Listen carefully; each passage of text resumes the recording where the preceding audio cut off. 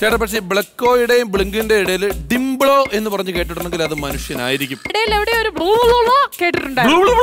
ഓ എനിക്ക് ചേട്ടാ, രാജേട്ടാ. ഇവിടെ നിങ്ങളെല്ലാം കൂടെ ബ്ലുക്കാ ബ്ലുങ്കോ ബ്ലുബ്ലു എന്ന് പറഞ്ഞോണ്ടിരുന്ന അങ്ങനെ.